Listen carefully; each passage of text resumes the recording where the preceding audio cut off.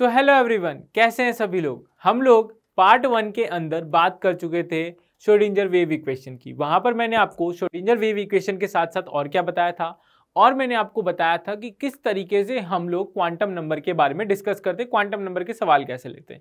हमने वहाँ पर पूरा हमारा खत्म कर दिया था शोडिंजर वेव इक्वेशन और क्वांटम नंबर और उसके ऊपर जेई एडवांस में आए हुए सवाल और जेई एडवांस किस किस पैटर्न पे सवाल पूछ सकता है, कुछ नए सवाल भी हमने देखे थे।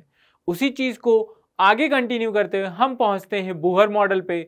हम पढ़ेंगे आज बोहर मॉडल के बारे में, देखेंगे कुछ फॉर्मूले किस तरीके से बोहर मॉडल के फॉर्मूले पे जेई एडवांस सवाल पूछता है।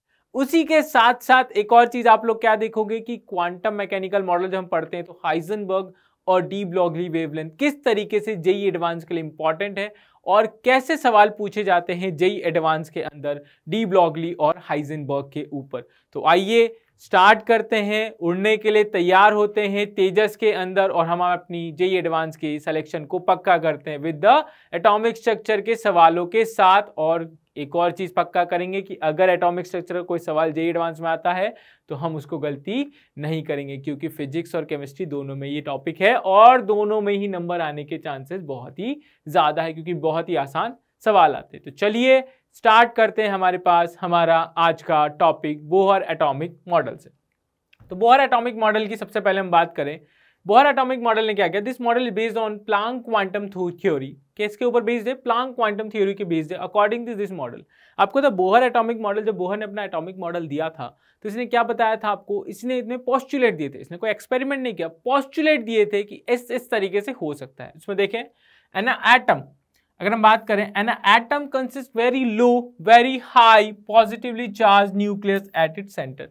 यानी उसके सेंटर पे एक क्या होता है? एक आपका very heavy positive charge, very small, very heavy positively charge जो एक न्यूक्लियस जो क्या होता है? न्यूक्लियस की जगह पर, न्यूक्लियस होता है, जो क्या करता है? इलेक्ट्रॉन को अपने चारों तरफ़ राउंड क्या करता है? बांधे रखता है। इलेक्ट्रॉन क्या होता है? उसी के चारों ओर क्या करते हैं? ट्रैवल यानी घूमते रहते हैं। दूसरा अगर देखें नेगेटिवली चार्ज इलेक्ट्रॉन जो मैंने आपसे सेकंड लाइन बोली ना, वही, कि इस पॉजिटिव चार्ज ये जो पॉजिटिवली चार्ज वाला न्यूक्लियस है, इसी के चारों और आपके क्या होंगे? न्यूक्लियस के अराउंड ही क्या होंगे? Electron revolve around the nucleus in a circular orbit without emitting any energy ये ध्यान दो विदाउट इमिटिंग एनी एनर्जी इसने कहा कि कोई एनर्जी इमिट नहीं करेंगे, बस वो क्या करेंगे? घूमते रहेंगे घूमते रहेंगे बट ये तो क्यों नहीं करेंगे? ये नहीं बता पाया। तो यहाँ लिमिटेशन भी हम लोगों ने देख ली। यहाँ जब पॉस्टुलेट देखते हैं ना, उसी के साथ साथ लिमिटेशंस भी इसी के साथ ही आ जाती है। ये भी ध्यान रखने वाली बात है। यहाँ गलती करने की ज़रूरत नहीं है, नहीं होनी चाहिए गलती। अगली देखते हैं। Out of the infinite orbital and electron revolving on only in those orbital उसी ऑर्बिटल में क्या करेगा? ट्रैवल करेगा, जो आपको पता है n h upon two pi के क्या हो? इंटीजर मल्टीपल होते हैं। इंटीजर मल्टीपल होते हैं जस्ट लाइक दैट हम बात करें m v r equal to क्या होता है? N h upon two pi ये फॉर्मूला बहुत ध्यान रखना। क्यों ध्यान रखना? बहुत सारा डेरिवेशन ना इसी से हो जाता है। और जे एडवांस ने एक बार डेरिवेशन पे भी सवाल पूछा हुआ है। उसको भी हम करेंगे। किस तरीके से होता है, वो भी देखेंगे। और उससे रिलेटेड और कौन कौन से डेरिवेशन हो सकते हैं, उनके बारे में डिस्कशन करेंगे। चलिए, यहाँ पर क्या है? एन जो है आपका, ये पॉजिटिव इंटीजर होगा, यानी one two three four five six seven eight हो सकता है। Positive integer one two three four five six seven eight आगे सॉन बढ़ता रहेगा। और इसी के फॉर्म में क्या होता है? जैसे n h upon two pi की बात करूँ तो क्या होगा? ये h upon two pi n की वैल्यू वन रख दी तो इलेक्ट्रॉन रिवॉल्व करेगा। और क्या होगा? और हो सकता है मेरे पास क्या हो? Two h upon two pi हो तो भी इलेक्ट्रॉन की क्या होगी? रिवॉल्विंग होती है। थर्ड क्या हो जाता है? अगर थर्ड की बात करें तो three h upon two pi इस तरीके से क्या होगा? इलेक्ट्रॉन में रिवॉल्व करता रहेगा। ये पॉस्टुलेट है इंपॉर्टेंट है थ्योरी में आता है, इसलिए मैंने यहाँ पर पुट किया है आप लोगों के लिए। अगला देखते हैं इंपॉर्टेंट फॉर्मूलाज अब ये जो है ना, ये है काम की चीज़। इंपॉर्टेंट फॉर्मूला जितने आपने बोहर मॉडल के अंदर फॉर्मूलाज पढ़े, सारे आ गए इसके अंदर। कौन कौन से देखो ध्यान से। पहला है m v r m v square upon r equal to k z square upon r square m v r equal to n h upon two pi मेरे पास है आर यानी रेडियस का फॉर्मूला दे रखा है zero point five two nine इसी को कई बार जे एडवांस क्या करता है? ए नॉट के फॉर्म में भी देता है। किस फॉर्म में देता है? ए नॉट के फॉर्म में भी देता है। A not n square upon z हो गया। फोर्थ देखें, v इक्वल टू क्या है? 2.188 इन टू टेन की power six z by n metre पर सेकेंड हो गया। वेलोसिटी फ्रिक्वेंसी देख ली, फिर हमने क्या देख लिया? टाइम पीरियड देख लिया, और उसके साथ साथ हमने क्या देख लिया? एनर्जी देख ली। और यहाँ पर क्या देख लिया? एनर्जी का डिफरेंस का फॉर्मूला देख लिया। देखिए, सबके नाम n equal to number of orbit है z is atomic number m क्या है? मास ऑफ़ इलेक्ट्रॉन जानते हैं कितना होता है mass of electron 9.1 point one into ten की power minus thirty one k g बेटा, सब पढ़ के आ चुके हैं, बस ओवरव्यू दे रहा हूँ, क्योंकि बोहर मॉडल का बस फॉर्मूला याद रखना है, सवाल ऑटोमेटिकली बनते रहते हैं। अगला क्या है? E is a charge of electron होता है। ई e क्या है आपका? चार्ज ऑफ़ इलेक्ट्रॉन जो कितना लेते हैं हम लोग? 1.67 point six seven into ten minus nineteen coulomb r is the radius of the orbital angstrom के अंदर आएगा. V is the velocity of the electron और देख लो f is the frequency of revolution एक बार जे एडवांस ने, इस पर भी सवाल पूछा हुआ है. फ्रिक्वेंसी के ऊपर ही. T is the time period and मेरा e is the total energy e is the total energy देखो केमिस्ट्री के अंदर अगर हम बात करें कि अगर हम एटॉमिक स्ट्रक्चर लेते हैं तो उसमें फॉर्मूलेज याद होना ज़रूरी है, क्योंकि जो सवाल आता है, आसान बनता है. इस तरीके से ऐसा कोई रॉकेट साइंस नहीं पूछता वो. बहुत आसान सवाल पूछता है. अगर आपको बेसिक्स पता है अगर आपको बेसिक्स अच्छे से पता है तो इसके सवाल गलती होने के चांसेस नहीं होते हैं। चलिए E is the total energy and delta is the magnitude of energy. Magnitude of energy releases when electron कितना होता है? From n two to n one यानी एन टू से एन वन जब इलेक्ट्रॉन ट्रांजिशन करता है, उसमें जो एनर्जी रिलीज़ होती है, वो क्या है आपका? Delta e e. ये सभी फॉर्मूले ध्यान रखते हैं, इनके ऊपर सवाल भी आए हैं, इनके ऊपर सवाल आए हुए भी हैं। क्यों आए हुए हैं? चलिए देखते हैं। और देखते हैं यहाँ पर क्या है शेल नंबर अब ये क्या है, हमने जो एनर्जी का फॉर्मूला पढ़ा था. एनर्जी के फॉर्मूले के अकॉर्डिंग आप क्या कर सकते हो टेबल को फॉर्म कर सकते हो. एनर्जी का फॉर्मूला एनर्जी का फॉर्मूला क्या कहता है मेरे पास? जो हमने पढ़ा e equal to minus of thirteen point six into z square upon n square जैसे जैसे आप वैल्यूज़ पुट ऑन करते जाओगे, वैसे वैसे आपका ये आंसर आता चला जाएगा. यहाँ मैंने टेबल इसलिए रखी है क्योंकि कई बार क्या होता है, लोगों को लगता है कि सर थोड़ा बना के देख ले। बिल्कुल, बना के सारी चीज़ें रखी हुई आपको यहाँ से बहुत सारी चीज़ें रिवाइज करने में बहुत ही आसानी होगी। बहुत सारी चीज़ें रिवाइज करने में आसानी होगी। कुछ अगर एक बार टेबल को नज़र मारते अगर कुछ चीज़ें याद भी हो गई तो काम आ जाता है एग्ज़ाम के अंदर जो आपका टाइम सेव करता है। चलिए, अब एक एग्ज़ाम्पल देख लेते हैं। सर, हमने एक फॉर्मूला, यहाँ पर हमने कुछ इंपॉर्टेंट फॉर्मूलाज देखे थे। आपसे अगर क्लास में पढ़ाया जाता है तो भी वहाँ बोला जाता है कि, बेटा बोहर मॉडल के अंदर फॉर्मूला याद होना ज़रूरी है। बोहर मॉडल के अंदर फॉर्मूला याद होना ज़रूरी है। फॉर्मूले को देखो, दिमाग में छाप लो, अच्छे से छाप लो, अब देखो आगे बढ़ते हैं। चलिए, अगला सवाल देखते हैं।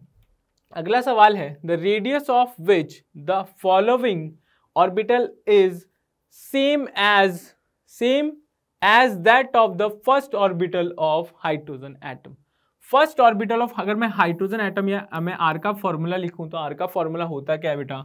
A not into n square upon z होता है। अगर मैं first orbital of hydrogen atom की बात करूँ तो यहाँ से आर की वैल्यू कितनी निकल के आ गई? ए नॉट निकल के आ गई।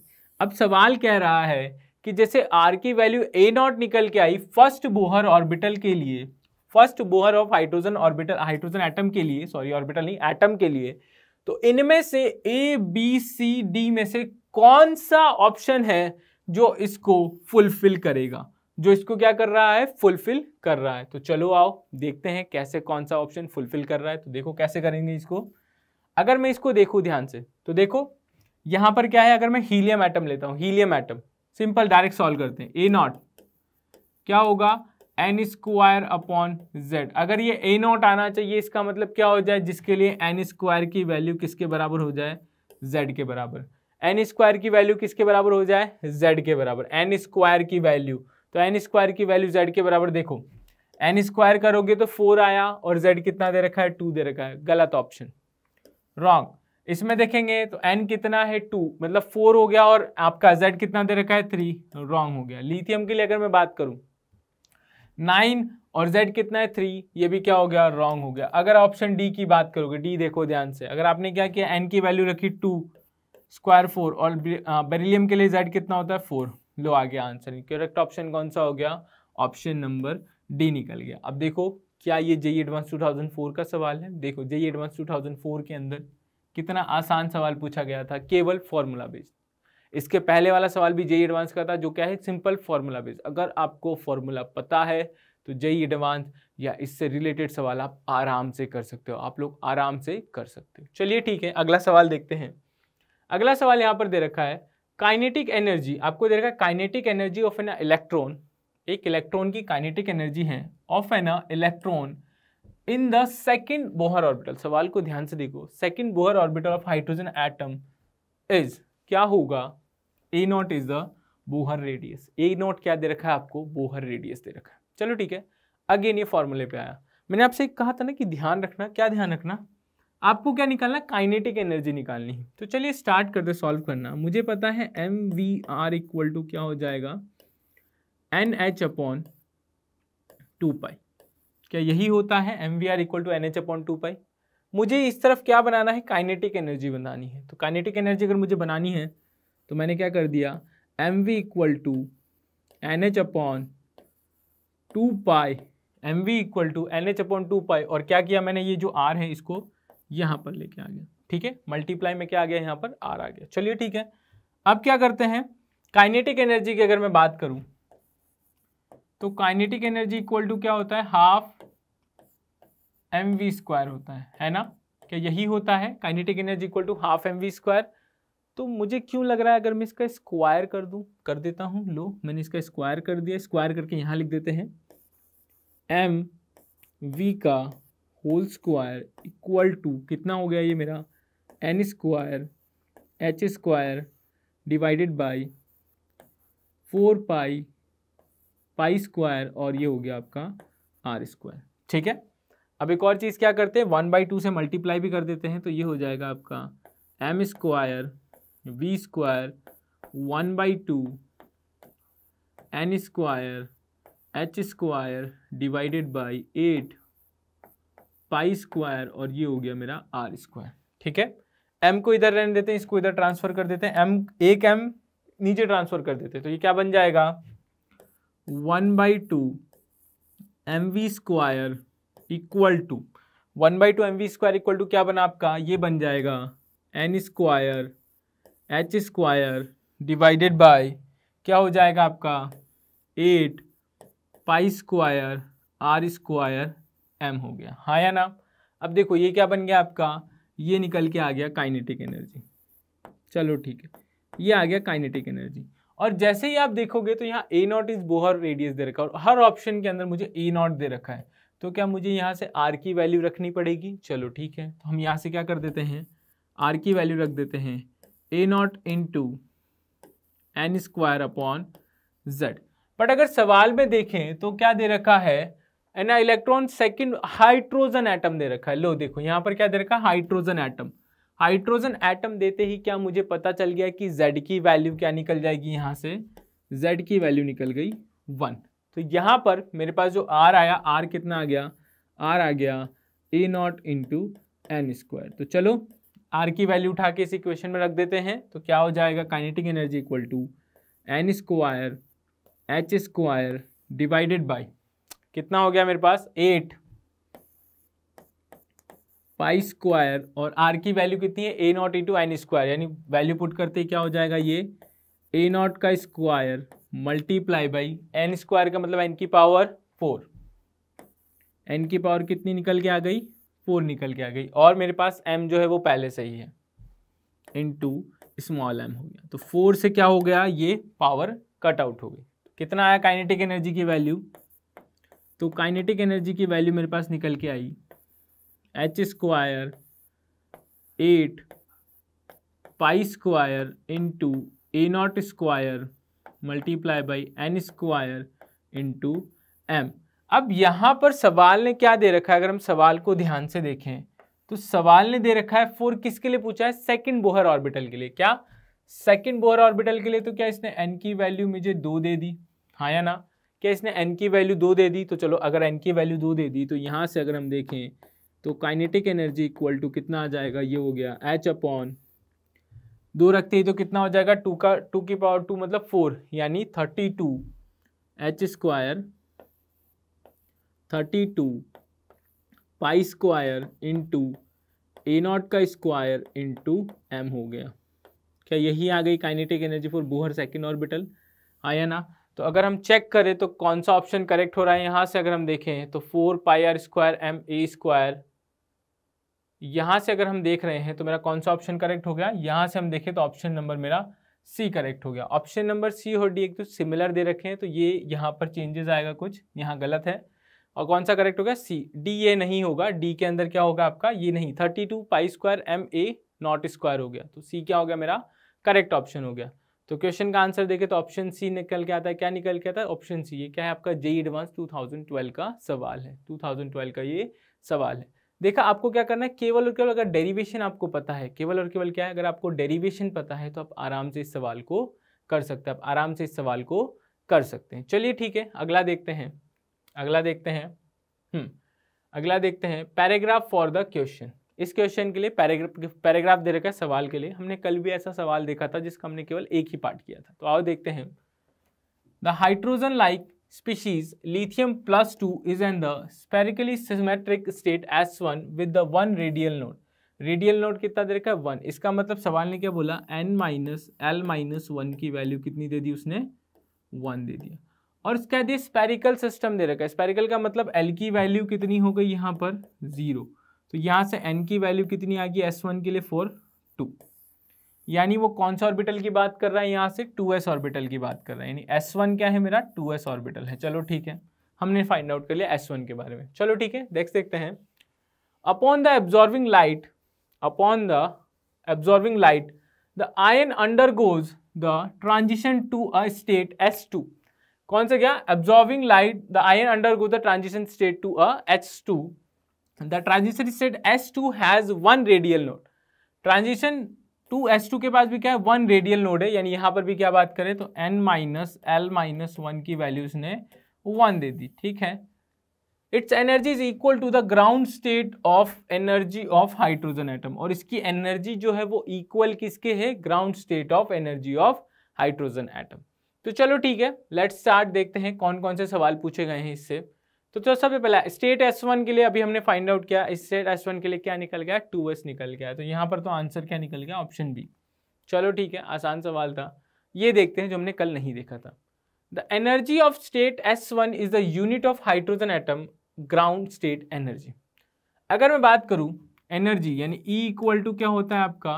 Thirteen point six into n square sorry z square upon n square होता है। चलो ठीक है। अब energy of state s one in the unit of hydrogen atom किसमें? यूनिट ऑफ़ हाइड्रोजन एटम में निकालना क्या निकालना यूनिट ऑफ़ हाइड्रोजन एटम में निकालना है। और अगर मैं यहाँ पर बात करूँ तो किस एटम के लिए बात की बेटा? लिथियम के लिए बात करेंगे। तो लिथियम के लिए अगर मैं बात करूँ यहाँ पर तो जेड की वैल्यू कितनी हो गई? थ्री हो गई। और अगर हम बात करें, कौन से स्टेट एन की वैल्यू कितनी थी यहाँ पर? एन की वैल्यू थी मेरे पास फोर एन की वैल्यू थी मेरे पास टू सॉरी एन की वैल्यू कितनी थी यहाँ पर? टू थी। अब मैं जैसे ही वैल्यू ई इक्वल टू रखूँगा तो 13.6 क्या हाइड्रोजन की ग्राउंड स्टेट के अंदर एनर्जी होती है? हाँ या ना? क्या हाइड्रोजन की अगर मैं ग्राउंड स्टेट के अंदर एनर्जी बात करूँ तो 13.6 इलेक्ट्रॉन वोल्ट होती है? हाँ या ना बोलो? यही होती है सर तो इसको मैं कह सकता हूँ हाइड्रोजन एनर्जी हाइड्रोजन की ग्राउंड स्टेट में एनर्जी मल्टीप्लाई बाई जेड का मतलब थ्री का स्क्वायर हो गया और एन का मतलब कितना? टू का स्क्वायर हो गया। बिल्कुल सही कहा। तो यहाँ से जो मेरे पास एनर्जी निकल के आई, क्या वो मेरे पास निकल के आती है? हाइड्रोजन की ग्राउंड स्टेट की energy multiply by nine upon four हो गया। और अगर ये नाइन अपॉन फोर हो गया तो मैं कह सकता हूँ सॉल्व करने पर क्या यही निकल के आ रहा है लगभग। हाइड्रोजन की ग्राउंड स्टेट की एनर्जी मल्टीप्लाई बाई कितना हो जाएगा? ये हो जाएगा आपका टू पॉइंट टू फाइव हो गया। हाँ या ना? अरे हाँ या ना बोलो भाई। क्या यही निकल के आया? तो कौन सा ऑप्शन करेक्ट हो गया? ऑप्शन नंबर यहाँ पर सी करेक्ट हो गया। कौन सा ऑप्शन करेक्ट हो गया? ऑप्शन नंबर सी करेक्ट हो गया। और ये जेई एडवांस 2010 का सवाल है। ये जेई एडवांस 2010 का सवाल है। चलिए ठीक है। अगला सवाल देखते हैं। अगला क्या है? The two the orbital angular momentum orbital angular momentum quantum number of state is orbital angular momentum quantum number of state is यानी सिंपल इसने क्या पूछा? इसने आपसे पूछ लिया एल की वैल्यू बताओ। क्या पूछ लिया इसने? एल की वैल्यू बताओ। किसकी बताओ? एल की वैल्यू बताओ। अब अगर सवाल को हम ध्यान से देखें, सवाल को अगर हम ध्यान से देखें तो सवाल ने यहाँ पर एक बात बोली थी कि S2 the state s two has the one radial node and its energy is equal to the और इसकी एनर्जी किसके बराबर है? Is equal to the ground state energy of hydrogen atom यानी इसकी एनर्जी किसके बराबर है? Ground state energy of hydrogen atom के। तो चलो ठीक है देखते हैं एल की वैल्यू पूछी ground state energy of hydrogen atom तो चलो ठीक है, पता लिथियम है तो क्या हो गया? Thirteen point six into z square upon n square किसके बराबर हो जाएगी? हाइड्रोजन की ग्राउंड स्टेट की एनर्जी यानी थर्टीन पॉइंट सिक्स के बराबर। बिल्कुल सही जेड की वैल्यू कितनी दे रखी मुझे? थ्री दे रखी क्योंकि लिथियम दे रखा है। तो यहाँ से एन की वैल्यू भी कितनी आ गई? थ्री निकल के आ गई। अब अगर एन की वैल्यू थ्री निकल के आ गई तो यहाँ से मुझे पता है n minus l minus one equal to कितना हो गया मेरे पास? वन रेडियल नोट दे रखा है तो वन आ गया। एन की वैल्यू कितनी है बेटा? थ्री है। एल की वैल्यू मुझे फाइंड आउट करनी है minus one equal to one तो यहाँ से अगर हम देखें तो एल कितना निकल के आ गया? एल निकल के आता है वन एल कितना निकल के आता है यहाँ से? वन निकल के आता है। यानी ये जो बात कर रहे हैं, किसके लिए बात कर थ्री पी के लिए बात कर रहे हैं। और इसने पूछा क्या? The orbital angular momentum quantum number of state two क्या निकल के आ गया? वो निकल के आ गया मेरे पास वन क्या निकल के आ गया? वन तो क्या इसका आंसर बी है? ये भी जे एडवांस 2010 का सवाल है। जे एडवांस 2010 के अंदर एटॉमिक स्ट्रक्चर से 12 मार्क्स आए थे। चलो ठीक है। अगला सवाल, अब देखते हैं limitations of Bohr model limitations क्या थी बोहर मॉडल की? हमने थ्योरी में थोड़ा पार्ट क्यों रखा है? क्योंकि यहाँ पर क्या है कि कई बार सवाल यहाँ से पूछते हैं। यहाँ पर आपको पता है अगर आपको जे एडवांस की सीरीज़ आप देख रहे हो तो आपको इतना पता है कि अगर आप ये सीरीज़ एक बार देख लेते हो तो आपको दोबारा कहीं और जाने की ज़रूरत ना पड़े, क्योंकि यहाँ से सारी चीज़ें सॉल्व हो सकती है। Bohr theory does not explain the spectral multiple spectrum for multi electron species वो केवल सिंगल इलेक्ट्रॉन स्पीसीज के बारे में बात करता था। Hydrogen helium plus lithium plus two beryllium plus three उसने केवल सिंगल इलेक्ट्रॉन स्पीसीज की बात की मल्टीपल इलेक्ट्रॉन स्पीसीज की बात नहीं की। तभी तो क्वांटम मैकेनिकल मॉडल आया, तभी तो मॉडल्स फेल हुए, क्योंकि भाई हमारे पूरे पीरियडिक टेबल में केवल सिंगल इलेक्ट्रॉन स्पीसीज थोड़ी ना है भाई, बहुत सारे स्पीसीज है उसमें, सबके लिए तो डिफाइन कर नहीं सकता था, इसीलिए ये फेल हो गया।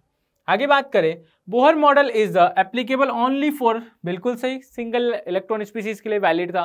तो ज़ाहिर सी बात है भाई, सभी एटम सिंगल इलेक्ट्रॉन स्पीसीज नहीं होते हैं तो उन सब के लिए आप एटॉमिक स्ट्रक्चर बना ही नहीं पाते तो इसलिए बोहर यहाँ पर भी फेल हो गया, फेल हो गया, बर्बाद हो गया। आगे बढ़ते हैं। वाई द एंगुलर हम जो हमने पहले बात करी कि angular momentum n h upon two pi होता है। क्यों होता है भाई? अब आप अगर कोई सवाल पढ़ते हो, कोई चीज़ हम पढ़ते हो तो हम इसमें सवाल था वाई क्यों होता है ऐसा? इसके पास बोहर के पास कोई आंसर नहीं था इसका। क्यों होता है ऐसा? बोहर के पास कोई आंसर नहीं था, कोई एक्सप्लेनेशन नहीं था तो यहाँ पर भी बोहर क्या हो जाते हैं? फेल हो जाते हैं। क्योंकि ज़ाहिर सी बात है, अगर हम बात करें, सवाल, अगर क्लास में टीचर ने कोई सवाल पूछा तो आपको उसका आंसर आना, अगर आपको उसका आंसर आता है तो आपको उसका रीज़न भी पता होगा, क्योंकि टीचर हर चीज़ का रीज़न भी बताते हैं। तो यहाँ से क्या हो गया? ये भी नहीं बता पाए तो भाई टीचर नहीं बता पाए, टीचर ने पूछा तो फेल हो गए। आगे बढ़ते हैं।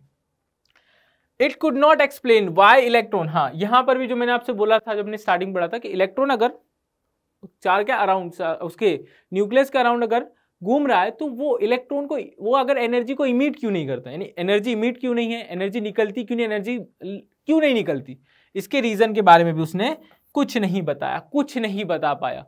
तो ये भी लिमिटेशन हो गई। एक और लिमिटेशन जो हम एनसीआरटी में पढ़ते भी इंपॉर्टेंट भी है, काम की भी चीज़ है और थियोरी में तो पता ही है सभी को एनसीआरटी इज़ द गॉड देखे तो in the presence of electric and magnetic field some final lines were observe in the line spectrum Bohr theory does not explain the splitting of spectral line वो स्पेक्ट्रल लाइन की splitting नहीं बता पाएगी। क्यों hydrogen spectrum की अलग अलग splitting बनती है? क्यों क्यों डिफरेंट डिफरेंट टाइप की लाइंस बनती है?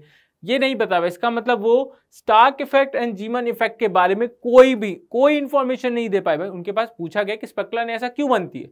नहीं पता था बोहर और बोहर को पता ही नहीं था। नहीं होता उनको नहीं पता था। तो यहाँ पर क्या हो गया? वो चीज़ यहाँ पर भी वो फेल हो गए। तो ये कहते हैं लिमिटेशन थी लिमिटेशन जानना क्यों ज़रूरी है? क्यों? क्योंकि कभी कभी थ्योरी के अकॉर्डिंग सवाल इन पे भी आते हैं। ये भी क्या है? क्योंकि आप एटॉमिक स्ट्रक्चर देखोगे तो थियोरेटिकल एज वेल एज ये जो चैप्टर है, ये क्या है? आपका न्यूमेरिकल भी है। तो दोनों चीज़ें पता होना बहुत ही ज़रूरी है। चलिए, अब आगे बढ़ते लाइन स्पेक्ट्रम के बारे में बात करें। स्पेक्ट्रम अच्छा सवाल बनता है इनके ऊपर। चलिए देखते हैं। When excited electron return to the lower energy level कोई भी इलेक्ट्रॉन अगर हाइयर एनर्जी लेवल से है लोअर एनर्जी पे आया, या लोअर एनर्जी से हायर लेवल एनर्जी पर गया तो क्या करता है? It can return to may way of producing radiation of different wavelength क्या करेगा? डिफरेंट डिफरेंट टाइप की वेवलेंथ को क्या करेगा? प्रोड्यूस करेगा। Resulting spectrum call is line and atomic spectrum जिस, क्या हुआ? अपर से क्या हुआ? नीचे आया तो कुछ ना कुछ वेवलेंथ की क्या कर रहा है? लाइन को इमिट कर रहा है नहीं स्पेक्ट्रल लाइन बना रहा है। तो इसी चीज़ को क्या बोलते हैं? जैसे यहाँ पर देखें it can return to many ways to produce the radiation different जैसे आप ऊपर हायर लेवल से क्या गए? हम लोग हायर लेवल पे थे लोअर लेवल पे गए। तो उसने क्या डिफरेंट डिफरेंट टाइप की क्या कि? रेडिएशन इमिट करी। ये रेडिएशन ही तो क्या है आपकी? हाइड्रोजन स्पेक्ट यानी एटॉमिक स्पेक्ट्रम बनाती है। चलिए ठीक है, जैसे यहाँ पर देखें हम। हमारे पास लाइमन आती है। लाइमन की अगर मैं बात करूँ तो एन इक्वल टू वन से इनफाइनेट जाता है। बामर आती है बामर चीज़ आपको पता है इंपॉर्टेंट सबसे पहले इसी को आइडेंटिफाई किया गया था। क्यों? क्योंकि ये विजिबल रीजन में मिलता है। फिर क्या आता है? पाशियन सीरीज़ आती है। Then Brackett Pfund and Humphrey main जो हमारे पास कंसिडर करते हैं, इन तीनों के ऊपर भयानक, बहुत ही अच्छे अच्छे सवाल पूछे जाते हैं और एडवांस कभी कोई पूछता भी है। बहुत रेयर चांस बट मेन्स इसमें ज़्यादा फोकस करता है तो हम इसके एक दो सवाल ही देखेंगे। चलो ठीक है, अब यहाँ पर मैंने आपसे बोला था कि अगर अल्फ़ा लाइन की बात करें, यानी फ़र्स्ट लाइन की बात कर रहा है बीटा बात करें तो सेकेंड लाइन गामा बात करें तो थर्ड लाइन और अगर डेल्टा की बात करता है तो फोर्थ लाइन की बात करता है, यहाँ से ये चीज़ एक्सप्लेन है। यहाँ से ये चीज़ एक्सप्लेन है और यहाँ से इस चीज़ को हम समझ भी सकते हैं। चलिए ठीक है, देखते हैं। First line is alpha line second line की बात करें तो बीटा लाइन बोलते हैं। थर्ड लाइन की बात करें तो गामा लाइन और फोर्थ लाइन की बात करें तो बेटा मैं बता देता हूँ आपको, उसको डेल्टा लाइन बोलते हैं। Alpha beta gamma del alpha beta gamma del यानी फोर्थ लाइन की बात करें तो डेल्टा यानी डेल बोलते हैं। क्या बोलते हैं उसको? डेल बोलते हैं। इस तरीके से आपको दिया हो सकता है। फ़र्स्ट लाइन पूछे, आपसे अल्फ़ा लाइन पूछे तो एन अगर लाइमन की बात करें वन से टू आपसे बीटा पूछ ले तो एन टू से एन थ्री आपसे गामा पूछ ले तो एन थ्री से एन फोर सिंपल आसान इस तरीके के सवाल कर सकते हैं। अब देखो, ये लाइमन है और उनके लिए, इनके लिए क्या है? एक टेबल बनाई है जिनके लिए लाइमन है। लाइमन सीरीज़ में आप नंबर ऑफ़ लाइन्स के बारे में देख सकते हो। लाइमन के लिए एन वन जो आपका एन टू है। चलिए ठीक है, आगे बढ़ते, एक एग्ज़ाम्पल देखते हैं। आसान सा एग्ज़ाम्पल है, थोड़ा तो समझ लेते हैं इस चीज़ को। अच्छा एग्ज़ाम्पल है, कैसे देखो? सवाल देखो सवाल देखो और समझ लो। सवाल देखो और समझ लो। कैसे? फोर है ना any given series of a spectral line atomic hydrogen let delta v delta v यहाँ पर अगर हम बात करें तो ये भी क्या होगा हमारे पास? This is called delta v bar Lyman for यानी वेव नंबर की बात कर रहे हैं। यहाँ पर बात कर रहा है मुझसे for a any given series of spectral line atomic hydrogen let delta v bar equal to v max minus v minimum v minimum be the different in the maximum and minimum frequency is centimeter inverse the ratio of Lyman and Balmer का मुझे ratio पता करना है। चलिए ठीक है, अगर मैं इसको ध्यान से देखूँ स्टार्ट करते हैं। तो यहाँ पर हम देखते हैं, ठीक है? अगर मैं बात करूँ लैमडा यानी हाइड्रोजन स्पेक्ट्रम की बात करें तो वन अपॉन लैमडा ये हम इसको बोलते हैं वेव नंबर बार देख लेते हैं हम इसको वन अपॉन लैमडा बात करें वन अपॉन लैमडा या हम इसको बोल देते हैं wave number equal to one upon यहाँ पर देखें तो r into one upon n one square minus one upon n two square ले लेते हैं। ठीक है? अब अगर मैं बात करूँ मैक्सिमम की तो मैक्सिमम के लिए क्या होता है बेटा? N one equal to one से किसके बारे में बात कर रहे हैं यहाँ पर? किसके बारे में? लैमडा यानी वेव वेव नंबर के बारे में बात कर रहे हैं। यानी एन वन से लेके एन क्या होगा? वन से लेके अगर एन टू इनफाइनाइट होगा, तब वहाँ पर क्या आएगा आपका? वी मैक्स आएगा। फोर लाइमन फोर लाइमन किसके लिए? लाइमन के लिए। ध्यान रखना किसके लिए? लाइमन के लिए। किसके लिए होगा ये? लाइमन के लिए होगा। यानी एन वन एन वन क्या है? वन है और एन टू क्या है? इनफाइनाइट है। तो देन क्या होगा? वी मैक्सिमम आएगा। और अगर आपका एन वन आपका वन है और एन टू आपका टू है तो आपका वी मिनिमम आएगा। इस सवाल में बस इतना सा ही कंसेप्ट है। लेमडा में ज़्यादा सवाल कराते हैं लोग। क्या करते हैं? लेमडा की फॉर्म में लोग ज़्यादा सवाल कराते हैं। बट लेमडा की फॉर्म में अगर ज़्यादा सवाल करते हैं तो वहाँ पर लोग क्या होते हैं? गड़बड़ हो जाती है। वहाँ पर ये चीज़ उल्टी हो जाती है। लेकिन यहाँ पर ध्यान रखना है, किसमें पूछा है सवाल, उस पर फोकस करना है। चलो ठीक है। तो लेट्स स्टार्ट डायरेक्ट सॉल्व करते हैं थोड़ा सवाल को। Let's move to the question question पे अगर हम वापस आए तो अब यहाँ पर लेमडा मैं मैक्स की बात कर रहा हूँ। तो अगर मैं मैक्सिमम लेता हूँ तो मैक्सिमम अगर हम देखते हैं मैक्सिमम माइनस मिनिमम करना है मुझे। फॉर लाइमन देखते हैं। मैक्सिमम माइनस मिनिमम करना है। तो चलो ठीक है मैक्सिमम कितना हो गया आपका? आर तो ले ही लेते हैं, आपका आर एच हो जाएगा ये। ठीक है। और वन से इनफाइनेट हुआ तो आर एच ही हो गया माइनस का। आर एच इंटू ये कितना हो गया? वन से टू, यानी थ्री बाई फोर हो गया ये। ठीक है, ये कितना आ गया आपका? थ्री बाई फोर यानी सॉल्व करने पे कितना आया ये? One by four of r h ये आ गया मेरे पास किसके लिए? ये आ गया for Lyman delta V bar for Lyman चलो ठीक है delta V bar for Lyman आ गया। अब यहाँ पर हम देखते हैं। Delta V for Balmer series के लिए। तो बार्मर सीरीज़ के लिए अगर मैं डेल्टा वी वी सॉरी क्या है यहाँ पर? Maximum wave number maximum del not delta this is not delta not delta this is not delta अगर मैं वेव नंबर की सिंपल बात करता हूँ वेव नंबर तो वेव नंबर अगर मैं मैक्सिमम की बात करूँ तो कितना हो जाएगा? आर एच इंटू कहाँ जाएँगे? एन वन से कहाँ पर हम बामर के लिए तो एन वन कहाँ? टू से स्टार्ट होता है। टू से कहाँ जाएँगे हम लोग? एन टू थ्री पर जाएँगे। और मैक्सिमम सॉरी मिनिमम के लिए मिनिमम मिनिमम नॉट मैक्सिमम हमने फिर उल्टा देख दिया, ना ना। यही गलती होती है यही गलतियाँ करते हैं, ज़्यादा कर लोग this is not maximum this is minimum ये क्या आ गया आपका? ये आ गया मिनिमम ये क्या आ गया? मिनिमम और यहाँ पर अगर हम देखें तो दिस इज़ मैक्सिमम तो मैक्सिमम कितना निकल के आ गया? मैक्सिमम की अगर हम बात करें तो आर एच कितना हो जाएगा? कितना हो जाएगा? ये इस, यहाँ से यहाँ तक, और इसके लिए कितना? एन वन टू से एन सॉरी एन टू से एन टू कितना चला जाएगा? इनफाइनाइट चला जाएगा। चलो ठीक है। तो यहाँ से अगर मैं देखूँ तो मिनिमम की वैल्यू कितनी आ गई? चेक करें तो फोर और माइनस वन अपॉन नाइन तो कितना? ये हो गया आर एच ये हो जाएगा thirty six nine minus four कितना हो जाएगा? ये हो गया मेरे पास five upon thirty six R H और मैक्सिमम कितना आ जाएगा? मैक्सिमम आ जाएगा मेरे पास एन फोर, यानी वन अपॉन फोर आर। तो अगर मैं स्टार्ट करूँ, किसके लिए हम स्टार्ट करते हैं? यहाँ पर अगर मैं डेल्टा निकालता हूँ किसके लिए? बार्मर सीरीज़ के लिए। तो वो कितना निकल के आता है मेरे पास?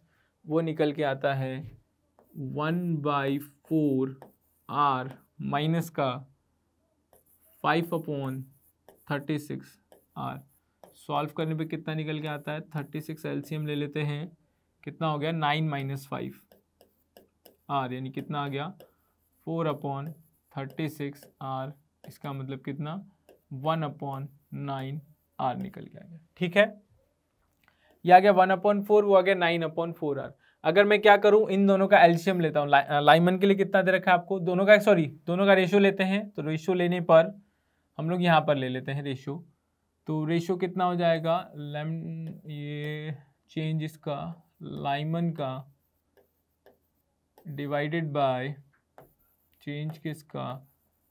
अगर मैं बार्मर सीरीज़ का लेता हूँ तो मेरे पास कितना निकल के आता है? देखे तो ये आ, ये कितना है? One by four one by four divided by कितना?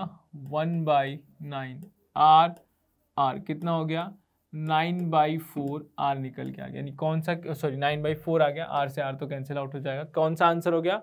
ऑप्शन नंबर डी करेक्ट हो गया। कौन सा ऑप्शन करेक्ट हो गया? ऑप्शन नंबर डी करेक्ट हो देखा, थोड़ा लेंदी सवाल है, थोड़ा सा लेंदी बट अदरवाइज़ थोड़ा और फास्ट करना चाहे तो और जल्दी कर सकते हैं। सवाल इसी तरीके का पूछा जाता है हाइड्रोजन स्पेक्ट्रम से अगर पूछा भी गया तो।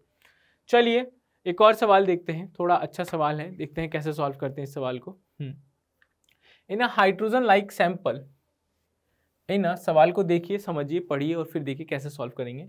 In a hydrogen like sample electron is in second excited state the energy of fourth state of the sample is minus of 13.6 electron volt the incorrect statement is मुझे पूछना है कौन सा इसमें से इनकरेक्ट स्टेटमेंट है? सवाल देखा, सवाल समझा। सवाल ने कहा, एक हाइड्रोजन लाइक सैंपल है। एक हाइड्रोजन लाइक सैंपल है सैंपल एक्स वाई जेड हमें नहीं पता। उसका जो सेकंड उसके is in second excited state वो किसमें है? सेकंड एक्साइटेड स्टेट में। एक्साइटेड स्टेट का मतलब एन कितना? थ्री हो गया। The energy of fourth state of the sample यानी energy of fourth not excited the energy of fourth state of sample यानी स्टेट कितना? Fourth state of the sample this sample के fourth state की जो energy है is 13.6 है तो incorrect statement बताना है। तो सबसे पहले स्टार्ट करते हैं यहीं से, कि मुझे दे रखा है 13.6 point six into Z square यहाँ पर हम ले लेते हैं सिंपल हाँ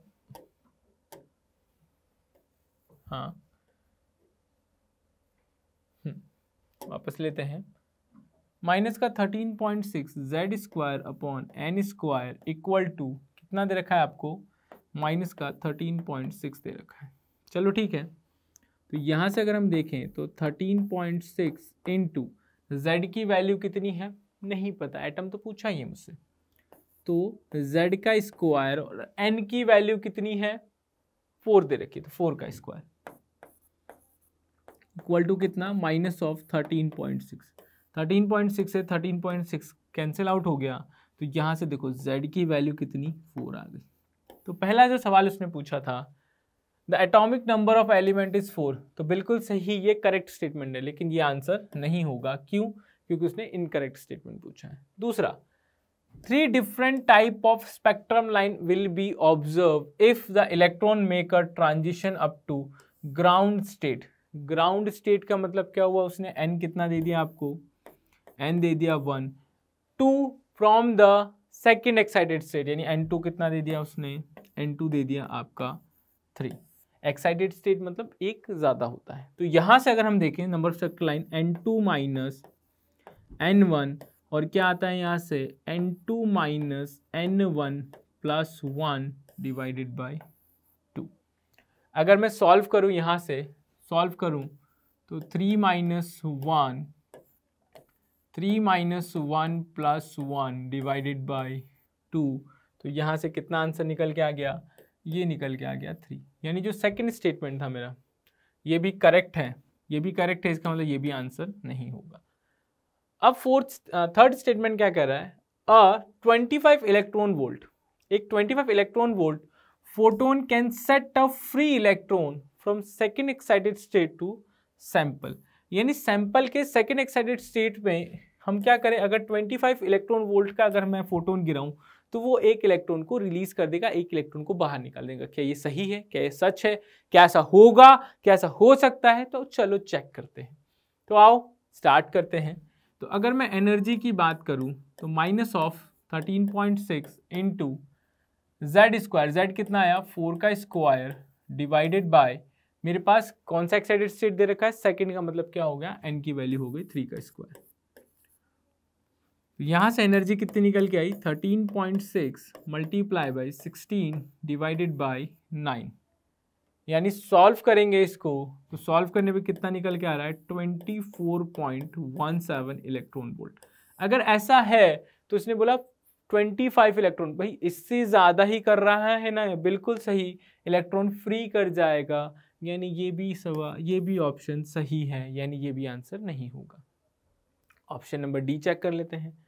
Second line of Balmer series of the this sample has the same energy value as the first excited state of energy of hydrogen atom अगर first excited state of hydrogen atom दे रखा first का मतलब N की value कितनी हो गई? यहाँ पर ले ली हमने two first sample has the same energy value as the first excited energy of a hydrogen atom यानी second line of Balmer series second line of Balmer series का मतलब क्या हुआ? यहाँ से अगर हम देखें second line of Balmer series second line first line क्या होती है आपकी? एन टू से एन कहाँ जाता है? थ्री में फ़र्स्ट लाइन सेकेंड लाइन का मतलब क्या हो गया? थ्री से कहाँ जा रहे हैं हम लोग? फोर में जा रहे हैं। तो अगर मैं एनर्जी कैलकुलेट करता हूँ, यहाँ पर हम लोग एनर्जी कैलकुलेट कर लेते हैं। छोटे से पार्ट में एनर्जी कैलकुलेट कर लेते हैं। तो यहाँ से अगर मैं एनर्जी कैलकुलेट करूँ तो माइनस का थर्टीन पॉइंट सिक्स कितना? Thirteen point six one upon कितना हो जाएगा? ये हो गया मेरे पास हम्म यहाँ से देखें तो नाइन माइनस वन अपॉन कितना? सिक्सटीन ठीक है, यहाँ से इसको सॉल्व करेंगे। और क्या दे रखा है उसने? उसने दे रखा है सैंपल हैज़ द एनर्जी वाले first excited state of hydrogen बिल्कुल नहीं होगा भाई सॉल्व करेंगे आंसर ही नहीं आएगा। तो ये इनकरेक्ट स्टेटमेंट हो गया। यानी यही सवाल का क्या हो गया? करेक्ट आंसर होगा। क्या यही आंसर है? बिल्कुल सही, यही हमारा आंसर है। आसान सवाल, अगेन। अब देखते हैं, हमने यहाँ पर क्या किया? हमने बोहर मॉडल और हाइड्रोजन स्पेक्ट्रम को कर दिया खत्म। क्या कर दिया यहाँ पर? खत्म कर दिया। अब जो हमारे दो टॉपिक और बचे हाइजेनबर्ग प्रिंसिपल और ड्यूअल नेचर यानी डी ब्लॉगली वेवलेंथ इनके बारे में थोड़ा चर्चा करते हैं। तो चलिए स्टार्ट करते हैं। In view of shortcoming in the Bohr model following two important development यानी जैसे आपने बोहर मॉडल देखा, उसकी क्या हुई? लिमिटेशन आई तो दो इंपॉर्टेंट कंसेप्ट आए। पहला है ड्यूअल नेचर ऑफ़ मैटर या de Broglie hypothesis and second one is Heisenberg uncertainty principle second one क्या है? हाइजनबर्ग अनसर्टेनिटी प्रिंसिपल के बारे में। चलो, ठीक है, देखते हैं। हमारे पास dual nature of de Broglie क्या कहता है? इसका सिंपल आपको फॉर्मूला याद रखना है। क्या कहता है? ये कहता है कि जो आपका वेवलेंथ है ना वो इन्वर्सली प्रोपोर्शनल किसके होता है? मोमेंटम के होता है। ये इसकी लैंग्वेज है। इसका मतलब क्या हुआ आपका? जो आपका लैमडा निकल के आया this is called H upon P ये है आपका main term this is the de Broglie wavelength क्यों? जो वेवलेंथ होती है, वो किसकी होती है? किसी भी वेव की होती है। और जो मोमेंटम होता है, वो किसका होता है? पार्टिकल का होता है। तो इस रिलेशन ने बताया कि एक इलेक्ट्रॉन के अंदर क्या होता है? डुअल बिहेवियर होता है। वहाँ से हम देखें तो मैटर दो टाइप का वेव है और पार्टिकल है। क्या है? वेव नेचर भी होता है, पार्टिकल नेचर भी होता है। वेव नेचर है तो एच न्यू पार्टिकल तो एम सी स्क्वायर या एम वी स्क्वायर ठीक है? ई यानी एनर्जी कैसे डिफाइन करेंगे? एम सी स्क्वायर से। H nu equal to M C square solve करेंगे तो यहाँ से देखो लैमडा की टू जी यानी lambda equal to H upon P निकल के आता है। एच अपॉन पी ही निकल के आता है और हम इसी के बारे में ज़्यादा चर्चा करेंगे। इसी के बारे में क्या करेंगे? ज़्यादा चर्चा करेंगे। H is the Planck constant lambda is the de Broglie wavelength and P is the de Broglie momentum P is the de Broglie momentum P is the de Broglie momentum चलो ठीक है, आगे बढ़ते हैं। De Broglie in terms of अब देखो, अगर kinetic energy देखो डी ब्लॉगली का जो मेन फॉर्मूला है मेन फॉर्मूला यही है। H lambda equal to H by P ही है। This is the main formula of the de Broglie but इसको डिफरेंट डिफरेंट तरीके से लिख सकते हैं। जैसे मोमेंटम को हम क्या करें, इसको काइनेटिक एनर्जी के फॉर्म में लिखें। तो इसका फॉर्मूला देखो क्या निकल के आता है। Lambda equal to H upon under the root of two M into kinetic energy under the root of two M into kinetic energy यानी अलग अलग फॉर्म में इसके हम लोग अलग अलग फॉर्म में हम क्या कर सकते हैं इसको डिनोट कर सकते हैं। और यहाँ पर हम इसको, जैसा हमें फॉर्मूला चाहिए, यानी जैसा आपको डी ब्लॉगली का फॉर्मूला चाहिए, वैसा ही उसके अकॉर्डिंग क्या निकलेंगे? इनके आंसर निकलेंगे। आपको डी ब्लॉगली का फॉर्मूला काइनेटिक एनर्जी के फॉर्म में चाहिए तो इसके बात करेंगे। अगर मोमेंटम की फॉर्म में अगर आपको चाहिए तो हम एच अपन पी से बात करेंगे। अलग अलग फॉर्म के लिए अलग अलग हमें फॉर्मूले रिक्वायर्ड होते हैं। चलिए ठीक है। आगे बढ़ते हैं। वेन अ चार्ज पार्टिकल मान लो अब एक चार्ज पार्टिकल घूम रहा है तो काइनेटिक एनर्जी क्या हो जाता है? क्यू इंटू वोल्टेज अब यहाँ पर जो आपने काइनेटिक एनर्जी रखी है, इसकी जगह क्या कर दो? क्यू इंटू वी रख दो तो लेमडा अब वोल्टेज की फॉर्म में आ गया। लेमडा अब क्या आ गया? वोल्टेज की फॉर्म में आ गया। थोड़ा और सिंप्लीफाई करते हैं तो लेमडा इक्वल टू क्या हो जाता है? वन फिफ्टी अपॉन वी इससे जो आपका वोल्टेज निकलेगा, किसमें निकला? ऑंगस्ट्रॉम में निकला। काम की चीज़ है कई ये फॉर्मूले भी ध्यान रखने के होते हैं। ये क्या होते हैं? ये फॉर्मूले भी ध्यान रखने के होते हैं क्योंकि यहाँ से हम गलती नहीं कर सकते। यहाँ से हम गलती नहीं कर सकते। अगर इस तरीके का सवाल पूछा गया तो उसको हम उसी तरीके से सॉल्व करेंगे। चलिए ठीक है, आगे बढ़ते हैं और अल्फ़ा पार्टिकल के लिए दे रखा है। तो ये भी एक बार सवाल है। बहुत सारी शीटों में बहुत सारी बुक्स में सवाल भी दिया होगा। अल्फ़ा पार्टिकल के लिए कितना होता है? Zero point one zero zero point one zero one angstrom upon under the root of delta V delta V is the voltage delta V is the voltage चलिए एंड प्रोटोन के लिए निकालेंगे तो lambda equal to two point zero point two eight six this is not two point this zero point two eight six this for the proton this for the proton particle चलिए ठीक है, आगे देखते हैं। अगर kinetic energy that according to the Bohr Bohr की अगर बात करें तो M V R equal to क्या होता है? N H upon two pi है। तो उसके अकॉर्डिंग अगर हम देखें तो two pi R equal to N H upon M V then यहाँ पर, यहाँ से जो मेन चीज़ निकलती है, वो निकलती है कि जो आपका ऑर्बिटल में क्या कर रहा है? सराउंड कर रहा है। वो उतना वेव वेव यानी जितना कंप्लीट वेव बनेगा ना, जो वेव बनेगा, उसके अकॉर्डिंग उसका ऑर्बिटल भी बता सकते हैं। नंबर ऑफ़ वेव से आप बता सकते हो कौन सा ऑर्बिटल में प्रेजेंट है।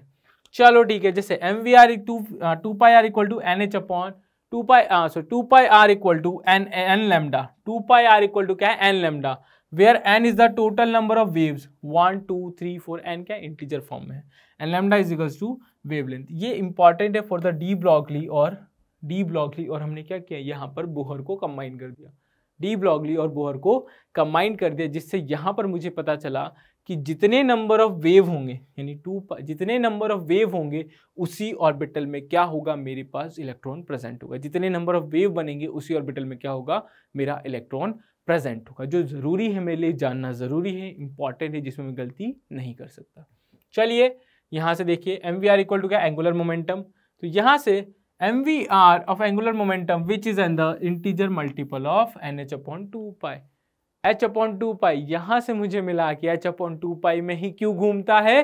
क्यों? वो चीज़ यहाँ से एक्सप्लेन हुई। वो चीज़ डी ब्लॉगली ने एक्सप्लेन किया। जो लिमिटेशंस थी ना, जो लिमिटेशंस थी बोहर की, उसी ने एक नई थ्योरी को जन्म दिया। जो लिमिटेशंस थी, उसी ने क्या किया? एक नई थ्योरी को जन्म दिया। तो लेट स्टार्ट एक one example if lambda naught is the देखो अच्छा बेहतरीन, जो जई एडवांस का सवाल आया था, उसके अकॉर्डिंग ही ये सवाल है। सिमिलर सवाल है अच्छा सवाल है, कभी सवाल इस पे भी पूछ सकते हैं, अगर डेरिवेशन का आया तो। If lambda naught is the threshold wavelength of photo electric emission lambda wavelength of light falling on the surface of a metal and M mass of electron then then d Broglie wavelength of emitted electron, then d d Broglie wavelength of emitted electron निकालना। चलो ठीक है let's start अब अगर यहाँ से मैं बात करूँ काइनेटिक एनर्जी यहाँ पर देखिए थोड़ा सा थ्रेशोल्ड वगैरह दे रखा है तो थोड़ा काइनेटिक एनर्जी के बारे में डिस्कस कर लेते हैं। तो आपको पता है काइनेटिक एनर्जी इक्वल टू क्या होता है? काइनेटिक एनर्जी की अगर हम बात करें तो यहाँ पर क्या होता है kinetic energy H nu minus H nu naught होता है। सभी को पता है यस और नो बिल्कुल सही। अगर मैं काइनेटिक एनर्जी को थोड़ा और सिंप्लीफाई कर दूँ तो काइनेटिक एनर्जी इक्वल टू क्या हो जाता है मेरा? यहाँ से यहाँ से हो जाएगा kinetic energy equal to H C upon lambda minus H C upon lambda naught हो जाता है। एच सी को कॉमन ले लेते हैं।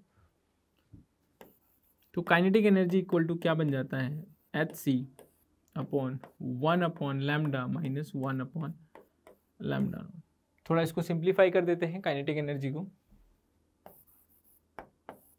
तो काइनेटिक एनर्जी इक्वल टू क्या हो जाता है आपका? एच सी ये हो गया lambda into lambda naught lambda naught minus lambda चलो, ये इसको देते हैं इक्वेशन नंबर वन ठीक है? अब मुझे पता है जो डी ब्लॉगली वेवलेंथ क्या होती है। लैमडा इक्वल टू होता है मेरे पास H upon under the root of two M kinetic energy हाँ या ना, ये फॉर्मूला भी हम पढ़ के आए हैं, देखो, आओ दिखाते हैं। देखो simple form two M into kinetic energy भैया सिंपल फॉर्मूले भी अगर याद है ना तो जोड़ तोड़ के ही सवाल बनता है। क्या होता है जोड़ तोड़ के ही सवाल बनता है। बिल्कुल सही, सर। जोड़ तोड़ के ही सवाल बनता है। चलो, ये है मेरे पास, बिल्कुल है। काइनेटिक एनर्जी क्या निकल के आई वहाँ से? यहाँ पुट कर देते हैं। जो यहाँ से निकल के आई, क्या करें इसमें? पुट कर देते हैं। तो चलो, ठीक है। यहाँ से लेमडा अगर मैं देखूँ तो लेमडा इक्वल टू पुट कर रहे हैं हम लोग। क्या आ जाएगा यहाँ से? H upon under the root of H upon under under the root of root of क्या आया यहाँ पर? This is called two into M under root में देखें तो एच सी वो क्या हो गया? इक्वेशन वन से lambda my lambda naught minus lambda divided by lambda naught into lambda हो गया। ये हो गया मेरे पास, ठीक है? अब अगर यहाँ पर देखें अंडर रूट की बात है तो इस लैमडा से इस लैमडा को कट कर देते हैं, और ये खुद भी क्या हो जाएगा? ओवरऑल क्या? अंडर रूट स्क्वायर कर देते हैं। स्क्वायर कर देते हैं स्क्वायर करना ज़्यादा अच्छा है अदरवाइज़ कुछ लोग बोलेंगे, सर, ऐसे कैसे कट दिया आपने? हाँ तो यहाँ से क्या कर देते हैं इसको एच स्क्वायर तो स्क्वायर से क्या हो गया? एच कट गया। चलो ठीक है अगर एच कट गया तो यहाँ से लेमडा की वैल्यू कितनी निकल के आई? थोड़ा सा साइड में लिख लेते हैं अदरवाइज़ थोड़ा ऊपर लिख लेते हैं इसको वहाँ पर हमने हम्म, यहाँ से जो मेरे पास लेमडा की वैल्यू निकल के आई यहाँ से अगर हम देखें तो मेरे पास जो लेमडा की वैल्यू निकल के आती है वो क्या निकल के आती है? This is called under the root of H upon under the root of H upon two into M यहाँ पर क्या आ गया? C under the root of क्या हो जाएगा? Under the root of lambda naught minus lambda divided by lambda naught into lambda और थोड़ा और सिंप्लीफाई करें तो इसको ऊपर लेके चले जाते हैं। तो यहाँ से क्या हो जाएगा? मेरे पास जो लेमडा इक्वल टू थोड़ा रिमूव करते हैं इसको यहाँ पर हम लोग। यहाँ पर थोड़ा सा रिमूव कर देते हैं। हम्म। से क्या आता है? मेरा lambda equal to under the root of H into ये जो नीचे वाली टर्म इसको ऊपर ले जाते हैं। Naught into lambda divided by two M C into lambda naught minus lambda ये पूरा अंडर रूट के अंदर टर्म आ गई। तो अगर हम यहाँ पर ध्यान से देखें तो कौन सा ऑप्शन करेक्ट हो जाता है? अगर देखें तो अंडर रूट का मतलब पावर क्या हो जाती है? One by two under root का मतलब क्या? पावर वन बाई टू तो पावर वन बाई टू कौन सा ऑप्शन में आ रही है? कौन सा ऑप्शन में जाना आ रहा है? बिल्कुल सही ऑप्शन नंबर ए करेक्ट हो जाता है। कौन सा ऑप्शन करेक्ट होता है? ऑप्शन नंबर ए यानी अगर सवाल ऐसा भी दे रखा है तो भी कर सकता है। सवाल में मान लो आपको ये फॉर्मूला नहीं पता, हमें ये फॉर्मूला नहीं पता, हम भूल गए, तब कैसे करेंगे? तब कुछ मत करो। आपको पता है लैमडा इक्वल टू क्या होता है? आपको अच्छे से पता है लैमडा इक्वल टू क्या होता है? H upon four pi lambda equal to क्या होता है? Sorry H upon P not four pi H upon P और पी क्या है आपका? मोमेंटम यानी क्या हो जाएगा? M into V M into V को काइनेटिक एनर्जी तो बना सकते हो। काइनेटिक एनर्जी बना दो इसको इन टर्म में। काइनेटिक एनर्जी पता है आपको? हाफ़ एम वी स्क्वायर होता है। उस टर्म में बना के फिर पुट कर दो, तब भी वही आंसर आएगा। कर सकते हो, हर तरीके से कर सकते हो, आसान तरीके से भी, और अगर कुछ चीज़ें याद है तो भी कर सकते हो। चलो ठीक है, आगे देखते हैं, एक और सवाल है। De Broglie wavelength of electron in first Bohr orbital is हमें क्या दे रखा है? The de Broglie wavelength of electron in first Bohr orbital is तो हमें पता है फ़र्स्ट बोहर ऑर्बिटल की अगर मैं बात करूँ two pi R equal to जो रिलेशन होता है एन लेमडा इस रिलेशन पे ही सवाल है। फ़र्स्ट बोहर ऑर्बिटल की अगर मैं बात करूँ तो एन की वैल्यू कितनी हो गई? वन आर की वैल्यू कितनी हो गई? ए नॉट के बराबर. ए नॉट क्या है मेरे पास? Zero point five two nine angstrom ठीक है? चलो लेट स्टार्ट तो two into three point one four multiply by zero point five two nine equal to lambda. Lambda की वैल्यू कितनी निकल के आ गई? सॉल्व करेंगे। This will be three point three two angstrom. Question का आंसर कितना निकल गया? Option number B. ये है आपका जेई एडवांस 2005 का सवाल। देख लो, जेई एडवांस में कितने आसान सवाल पूछे जा रहे हैं और हमने कितने हार्ड हार्ड सवाल किए हैं। हम कितने मतलब मुश्किल सवाल कर रहे हैं। जेई एडवांस तो कुछ नहीं पूछता है। जेई एडवांस तो कुछ भी नहीं पूछता। बहुत आसान पूछता है। अगर हमें पता है, अगर हम कर सकते हैं तो आसान तरीके से कर सकते हैं। चलिए ठीक है, अगला सवाल देखते हैं। अगला सवाल से पहले थोड़ा एक छोटा सा कंसेप्ट पढ़ लेते हैं। हाइजेनबर्ग अनसेंटिटी हमने क्या किया? हमने बोहर पढ़ लिया। हमने आपका डुअल नेचर पढ़ लिया। डुअल नेचर के बारे में पढ़ लिया कि डुअल नेचर डी ब्लॉगली के बारे में पढ़ लिया। अब हम बढ़ते थोड़ा सा हाइजेनबर्ग छोटा छोटा जो इंपॉर्टेंट पार्ट है, जो थोड़ा बहुत कंसेप्ट वाला पार्ट है, वो मैंने आपको पढ़ाया। अगर आप यहाँ से देखते हो, सवाल देख लेते हो, सवाल कर लेते हो तो इन सब चीज़ों में दिक्कत नहीं है। हाइजनबर्ग अनसर्टेनिटी प्रिंसिपल पढ़ते हैं हाइजनबर्ग क्या कहता है कि हम किसी भी, कोई भी एक मेरे पास पर्टिकुलर अगर मेरे पास अकॉर्डिंग दिस प्रिंसिपल हम एग्जैक्ट लोकेशन या पोजिशन और मोमेंटम बहुत ही इलेक्ट्रॉन यानी हम उसका मोमेंटम और उसके एग्जैक्ट पोजीशन को एक टाइम पर पता नहीं कर सकते। अगर आपको उसका मोमेंटम पता है तो आपकी उसकी पोजीशन नहीं पता होगी। अगर आपको उसकी पोजीशन पता है तो आपको उसका मोमेंटम नहीं पता होगा। ये बताया था मेरा हाइजनबर्ग अनसर्टेनिटी प्रिंसिपल यानी साइमल्टेनियसली एक टाइम पर एक ही पता कर सकते हैं। एक टाइम पर एक ही पता कर सकते हैं। ये हमारे किसका काम था? इसे हमने बोला था हाइजनबर्ग अनसर्टेनिटी प्रिंसिपल क्यों करते हैं आपको पता है? जैसे ही आप क्या करोगे? हाइजेनबर्ग अनसर्टेनिटी प्रिंसिपल की अगर मैं बात करूँ this principle has the significance for the small particle such like electron but is not significance for the bigger particle such like cricket ball मतलब ऐसे ऐसी चीज़ें जो माइक्रोस्कोपिक है नहीं मैक्रोस्कोपिक पार्टिकल्स के लिए तो हाइजेनबर्ग नहीं लगता, लेकिन microscopic particle just like electron proton इन सब के लिए क्या होता है, आपका हाइजेनबर्ग प्रिंसिपल लगता है। क्यों? ऐसा होता है उसको समझते हैं इसके फॉर्मूले के थ्रू हमारे पता है delta X equal to delta P H upon four pi होता है। मान लो आपको किसी की पोजीशन पता चल गई। क्या हो गई आपको? किसी भी ऑर्बिटल की पोजीशन, किसी भी आपको पार्टिकल, कोई भी आपका सिंपल छोटा माइक्रोस्कोप पार्टिकल, उसकी पोजीशन पता चल गई। अगर उसकी पोजीशन पता चल गई तो क्या उसकी पोजीशन में जो अनसर्टेनिटी है तो क्या उसकी पोजीशन में जो अनसर्टेनिटी है, क्या वो ज़ीरो हो जाएगी? क्या ये टर्म ज़ीरो हो गई? क्या ये टर्म ज़ीरो होते ही मेरे पास जो डेल्टा पी है, यानी मोमेंटम उसमें अनसर्टेनिटी क्या इनफाइनाइट हो गई क्या? इसमें इनफाइनाइट हो गई क्या? हाँ। तो अगर आपको पोजीशन पता है तो आप मोमेंटम को नहीं पता कर सकते। अगर आपको साइमेंटेनियसली मोमेंटम पता है मान लो मोमेंटम पता है तो पोजीशन क्या हो जाएगी? इनसर्टेनिटी इनफाइनाइट हो जाएगी। इस तरीके से हम समझ सकते हैं कि क्यों एक टाइम पे एक ही पता हो सकता है। तो पोजीशन ही पता कर सकते हैं, या फिर हम क्या कर सकते हैं? मोमेंटम पता कर सकते हैं। नेक्स्ट स्टार्ट करते हैं। दिस वन मान लो मोमेंटम क्या होता है आपका पता है? या मास इंटू वेलोसिटी तो इस टर्म में भी इसको लिख सकते हैं delta X into delta V H upon four pi delta X into delta V H upon four pi X is uncertainty in principle uncertainty on error in position और delta P is the uncertainty और error in momentum ठीक है? Then remember क्या ध्यान रखना है आपको? कि इसकी वैल्यू इसकी डायरेक्ट वैल्यू ध्यान रख लेना, ये होती है। इसकी डायरेक्ट वैल्यू ध्यान रख सकते हो, अगर इसकी डायरेक्ट वैल्यू ध्यान है तो आप आराम से सवाल को सॉल्व भी कर सकते हो, जल्दी से। अब एक सवाल दे रखा है। आपने जो पढ़ा, इसके ऊपर एक थोड़ा बेसिक सा सवाल है। बेसिक सा सवाल क्या है? A proton is a proton is accelerated accelerated to one by ten of the velocity of light यानी लाइट का कितना? वन बाई टेंथ से उसको क्या है? हमने फेंका if its velocity can be measure with the precision यानी प्रिसीजन कितना? Plus minus one percent then what must be the uncertainty in position of position in metre निकालना है। मुझे डेल्टा एक्स फाइंड आउट करना है। क्या फाइंड आउट करना है मुझे? डेल्टा एक्स फाइंड आउट करना है। चलो ठीक है। हाइजेनबर्ग प्रिंसिपल क्या कहता है?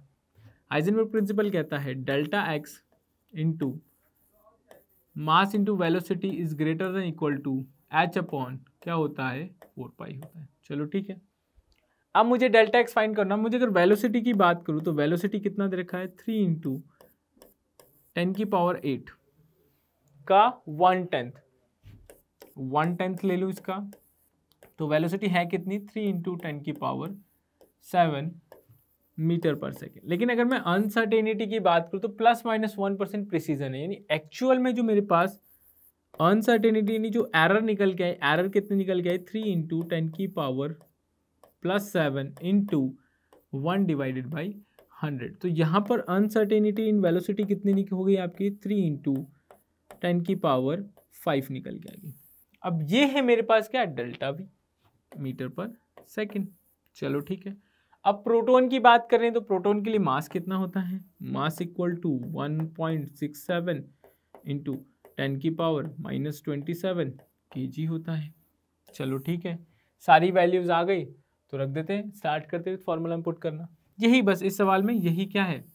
यही इस सवाल का क्या है बस? एक बेसिक्स है, एक सिंपल सी चीज़ है, जो इस मतलब हाइजेनबर्ग अनसर्टेनिटी के ऊपर थोड़ा सा अच्छा सवाल बनता है तो ये बनता है, इसके अलावा एक और अच्छा सवाल बनता है, वो भी हम करेंगे। इसके अलावा एक और अच्छा सवाल बनता है, जो छोटा सा कंसेप्ट है, वो भी हम करेंगे।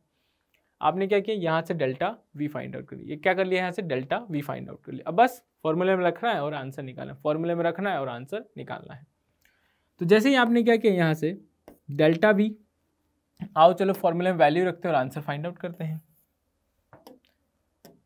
हम्म, जैसे हमने रखा थ्री इंटू टेन की पावर क्या निकल गया? फाइव डेल्टा एक्स मुझे फाइंड आउट करना है और one point six seven into ten की पावर माइनस का ट्वेंटी सेवन इक्वल टू में रख लेते हैं जब भी हम सॉल्व करने लगते हैं एच कितना है? Six point six two into ten की power minus of thirty four और फोर और क्या है आपका? पाई। चलो ठीक है। आ, तो डेल्टा एक्स अगर मैं निकालता हूँ तो delta X delta X equal to कितना हो जाएगा मेरा?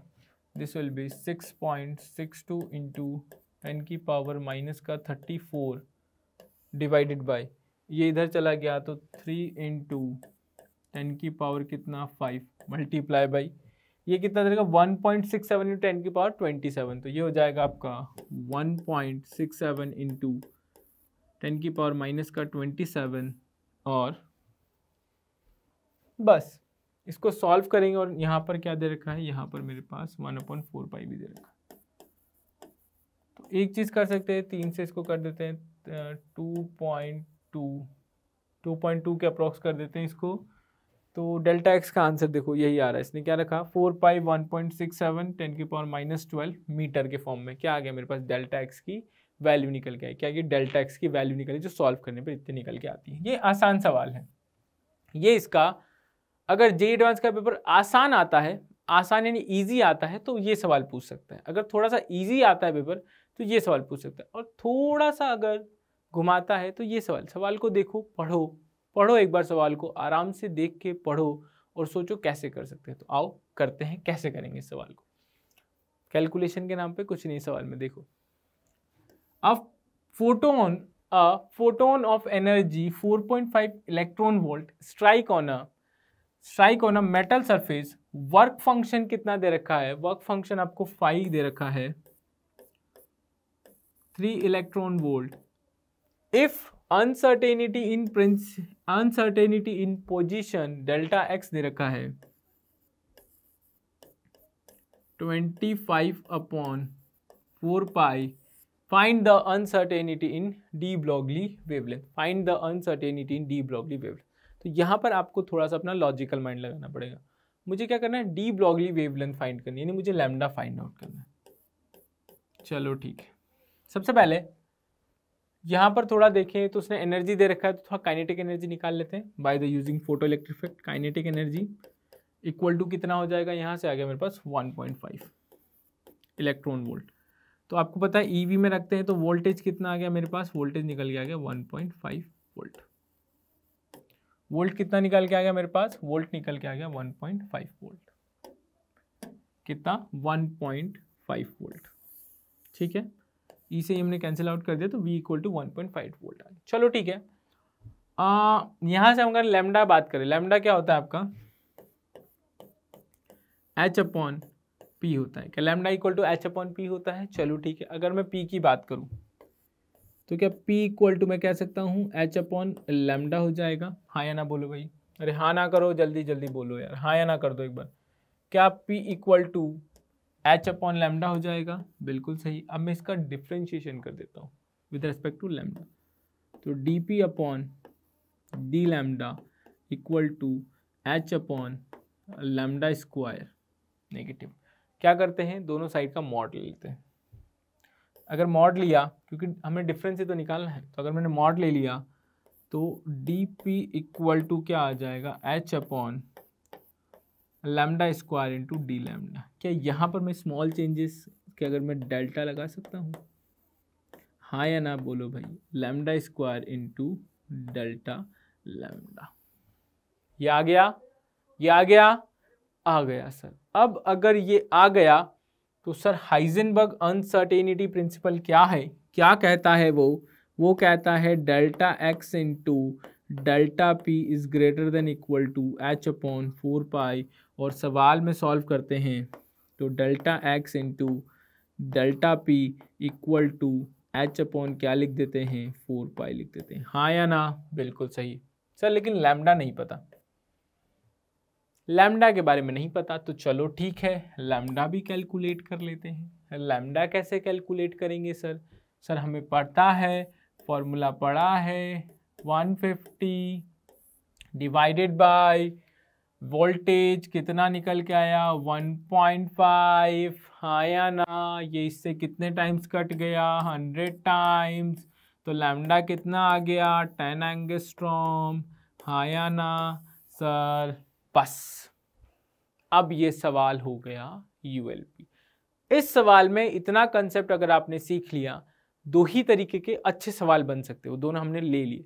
अगर इस सवाल में आपने ये कंसेप्ट सीख लिया तो अब सवाल के अंदर कुछ नहीं है। अब सवाल के अंदर कुछ नहीं है। तो यहाँ से यहाँ से हमारे पास डेल्टा पी इक्वल टू हमारे पास क्या डेल्टा पी की वैल्यू सीधा सवाल में ही रख देते हैं, छोड़ो। सीधा हम लोग सवाल में स्टार्ट करते हैं। यहाँ हमारे पास इस, यहाँ पुट कर देते हैं, यहाँ पर।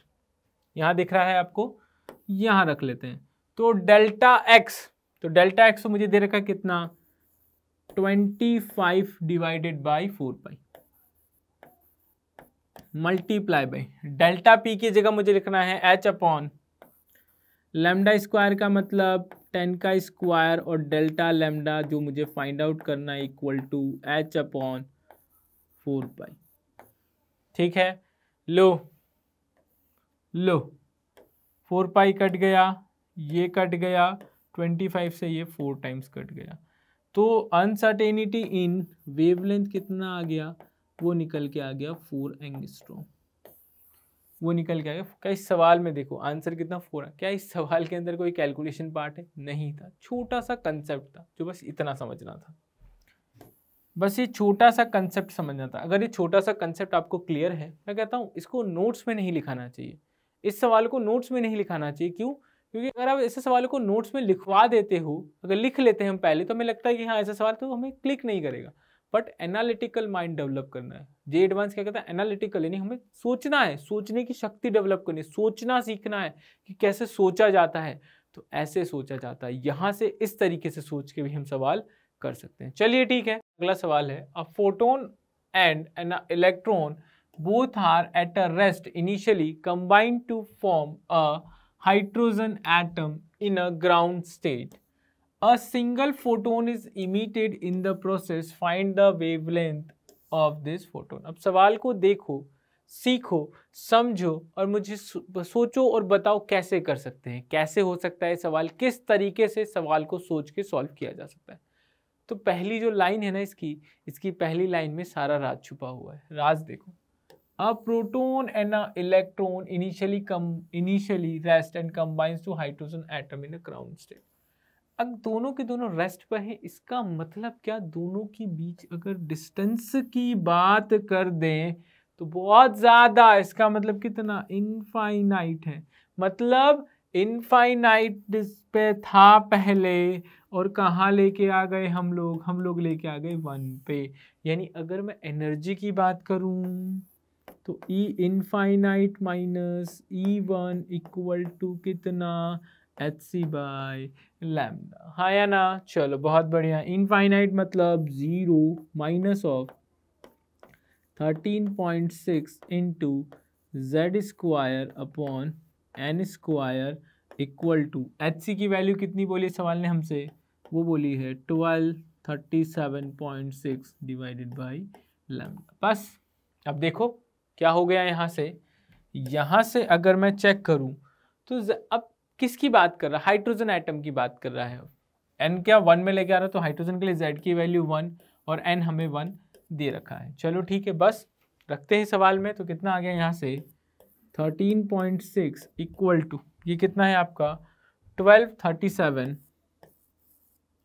twelve thirty seven point six divided by कितना? लेमडा तो यहाँ से जो लेमडा निकल के आया, वो कितना निकल के आया? Twelve thirty six point six divided by thirteen point six निकल के आया। यानी लेमडा कितना हो गया बेटा यहाँ से? यहाँ से आपका लेमडा निकल के आया मेरे पास। अगर सॉल्व करेंगे इसको अप्रॉक्सीमेटली तो कितना?